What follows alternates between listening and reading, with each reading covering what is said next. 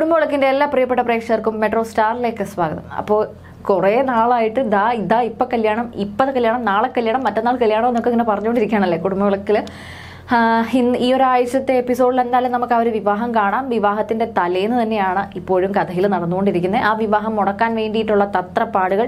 അങ്ങനെ സിദ്ധുവിന്റെ അനിരുദ്ധിനെ ഉപയോഗിച്ചിട്ടുള്ള ആ ഒരു കള്ളത്തരം സിദ്ധ നമ്മുടെ സുമിത്ര കൈയോടെ പൊക്കിയിരിക്കുകയാണ്. അതെങ്ങനെയാണെന്നൊക്കെ നോക്കാം. അതിനു മുമ്പ് നിങ്ങൾ ആദ്യമായിട്ടാണ് ഈ ഒരു ചാനൽ കാണുന്നതെന്നുണ്ടെങ്കിൽ തീർച്ചയായിട്ടും ഈ ഒരു ചാനൽ സബ്സ്ക്രൈബ് ചെയ്യുക. അപ്പം ഞങ്ങൾ ഇടുന്ന കൂടുതൽ സീരിയൽ റിവ്യൂ വീഡിയോസ് ഒക്കെ നിങ്ങൾക്ക് ലഭിക്കുന്നതായിരിക്കും. ശരിക്കും ഇവിടെ എല്ലാവരും എത്തുന്നു. ബന്ധുക്കളും ഒക്കെ ആ വീട്ടിലേക്ക് എത്തുകയാണ്. വേദിക അവിടെ വന്ന് സ്ഥാനമൊക്കെ ഉറപ്പിച്ചു കഴിഞ്ഞു. അങ്ങനെ നിൽക്കുമ്പോൾ സഞ്ജനയുടെ വീട്ടിൽ നിന്ന് എത്തുന്നുണ്ട്. അതേസമയം നമ്മുടെ അനിനയുടെ വീട്ടിൽ നിന്ന് എത്തുന്നില്ല. അതിനെതിരെ സഞ്ജനയുടെ ആന്റി സുശീല അതായത് അവിടെ വന്നിട്ടുള്ള പ്രശ്നങ്ങളൊക്കെ ഇങ്ങനെ ഉണ്ടാക്കുന്നുണ്ട്. സഞ്ജനയോട് സഞ്ജന അവിടെ വന്നപ്പോൾ തന്നെ സഞ്ജനയോട് നീ ഇവിടെ നിറവേറും വെച്ചുകൊണ്ട് ഇങ്ങനെ ജോലി എടുക്കുകയാണോ എന്നൊക്കെ ചോദിച്ചിട്ടുള്ള ബഹളങ്ങളും കാര്യങ്ങളും ഒക്കെ ഉണ്ട്.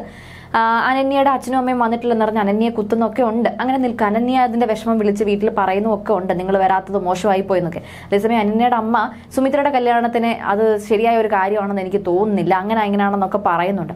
അപ്പോൾ ശരിക്കും ഇവിടെ അനന്യയുടെ അമ്മ നമുക്ക് ആദ്യം മുതലേ അറിയാം. വളരെ ഒരു മോഡേൺ ആയിട്ടാണ് നമ്മുടെ മുന്നിൽ കൊണ്ട് പ്രതിഷ്ഠിച്ചിരിക്കുന്നത്. പക്ഷേ അങ്ങനെ മോഡേൺ ആയിട്ട് ജീവിക്കുന്ന ഒരാൾക്ക് ചിന്താഗതി മാത്രം പുറകോട്ടാണ് എന്ന് പറയുന്നത് സത്യമായിരിക്കും. ഇന്നത്തെ ആ ഒരു ടോക്ക് കണ്ടപ്പോൾ എനിക്കങ്ങനെ തോന്നിയത് വലിയ ആഷ്പോഷ് ലൈഫും കാര്യങ്ങളൊക്കെയാണ് ഈ സ്റ്റാറ്റസ് വേണം അങ്ങനെ വേണം ഇങ്ങനെ വേണം എന്നൊക്കെ പറയുന്നത്. അല്ലെങ്കിൽ മോഡേൺ ആയിട്ട് ഇതൊക്കെയാണെന്നാണ് പറയുന്നത്. പക്ഷേ ചില കാര്യങ്ങളിലേക്ക് വരുമ്പം ചിന്താഗതി പഴയ രീതിയിൽ തന്നെയാണ്.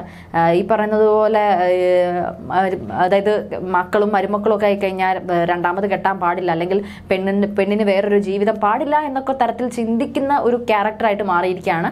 അതേസമയം നമ്മുടെ സുമിത്ര ആ ഒരു കള്ളം കണ്ടുപിടിക്കുക സുമിത്രേനെ പൂജ വിളിച്ച് സംസാരിക്കുന്നൊക്കെ ഉണ്ട്. അവിടുത്തെ ഒരുക്കങ്ങളെ കുറിച്ചൊക്കെ പറയുന്നുണ്ട്. അങ്ങനെ കല്യാണത്തിന്റെ ഒരുക്കങ്ങളും കാര്യങ്ങളും ഒക്കെ ആയിട്ട് മുമ്പോട്ട് പോവാണ്. അതിന്റെ ഇടയിൽ അച്ഛൻ പറഞ്ഞതനുസരിച്ച് ആ ഒരു താക്കോൽ അവിടെ നിന്ന് സംഘടിപ്പിക്കാൻ വേണ്ടി സുമിത്രയുടെ റൂമിൽ ചെല്ലുമ്പോൾ സുമിത്രനെ കാണുന്നില്ല. താക്കോൽ ഒടുവിൽ ആ ഒരു ഡ്രോയ്ക്കകത്തു നിന്നൊക്കെ കണ്ടെത്തി താക്കോലുമായിട്ട് തിരുമ്പോഴത്തേക്ക് സുമിത്രയുടെ സുമിത്ര മുന്നേ നിൽക്കുന്നു. സുമിത്രയുടെ മുന്നിൽ കള്ളിപ്പീരൊക്കെ നടത്താൻ ശ്രമിക്കുന്നു. അവിടെ നിന്ന് പോകാനൊക്കെ ശ്രമിക്കുന്നുണ്ടെങ്കിൽ കൂടി പക്ഷേ നടക്കുന്നില്ല. സുമിത്ര കണ്ടുപിടിക്കും. അങ്ങനെ സുമിത്ര പറയുന്നത് ആ താക്കോൽ ഇവിടെ വെച്ചിട്ട് പോയാൽ മതി എന്ന് പറയും. അങ്ങനെ മോൻ എന്നെ പൂട്ടിയിടാൻ വേറെ എന്തൊക്കെ വഴിയുണ്ടായിരുന്നു ഞാൻ നാളെ കല്യാണത്തിന് പോകാതിരിക്കാനാണെങ്കിൽ നീ ഒരു ഡോക്ടറല്ലേ വല്ലതും കുത്തി വെച്ച് നീ ഇവിടെ ഇട്ടാൽ പോരായിരുന്നു. എന്തൊക്കെ ചെയ്യായിരുന്നു? നീ എന്തിനാണ് ഇങ്ങനെയൊക്കെ കള്ളത്തരം കാണിക്കുന്നത്? സുമിത്രയുടെ ഒരു വാക്കിൽ ക്ഷമയൊക്കെ ചോദിച്ച അനിരുദ്ധിന്റെ മനസ്സ് മാറുന്നു അങ്ങനെ താക്കോലൊക്കെ കൊടുത്തിട്ട് പോകുന്നു. അതായത് സിദ്ധാർത്ഥ് എന്താണോ ആഗ്രഹിച്ചത് മോൻ എന്തായാലും പൂട്ടിയിട്ട് പൊക്കോ? നീ പൂട്ടി കൊണ്ടുവന്ന് അച്ഛന് കൊടുത്തോ എന്ന് സുമിത്ര പറയുമ്പോഴത്തേക്ക് അവിടെ എല്ലാം പൊളിഞ്ഞു വീഴുകയാണ്. അപ്പോൾ എന്തായാലും കല്യാണത്തിന് വേണ്ടിയിട്ട് സുമിത്ര അമ്പലത്തിലേക്ക് രാവിലെ എഴുന്നേറ്റ് രാവിലെ ആവുന്നതും കാണിക്കുന്നുണ്ട്. അപ്പോൾ എന്തായാലും നാളെയാണ് ആ കല്യാണത്തിന്റെ ഒരുക്കങ്ങളും കാര്യങ്ങളും. അപ്പോൾ അതേസമയം സിദ്ധാർത്ഥിന്റെ മനസ്സറിയാൻ വേദിക ശ്രമിക്കുന്നുണ്ട്. എങ്ങനെയും ആ ഒരു കല്യാണം മുടക്കാൻ വേണ്ടി ഒരുപാട് തത്രകൾ വേദിക കാണിക്കുന്നുണ്ട്. പക്ഷെ സിദ്ധാർത്ഥ് ഇതൊന്നും നടക്കാൻ പോകുന്നില്ല എന്ന് തറപ്പിച്ച് പറയുമ്പോൾ വേദിക മനസ്സിൽ ഇയാൾ എന്തോ കണ്ടിട്ടുണ്ട് എന്തോ നടക്കാൻ പോവുകയാണ് എന്നൊരു ടെൻഷനുണ്ട്. അപ്പോൾ എല്ലാവരും ഒരേ സമയം അങ്ങനെയൊക്കെ നിൽക്കുകയാണ്. കല്യാണം മുടങ്ങുമോ നടക്കുമോ എന്നൊക്കെ ഉള്ളൊരു ടെൻഷനിൽ നിൽക്കുകയാണ്.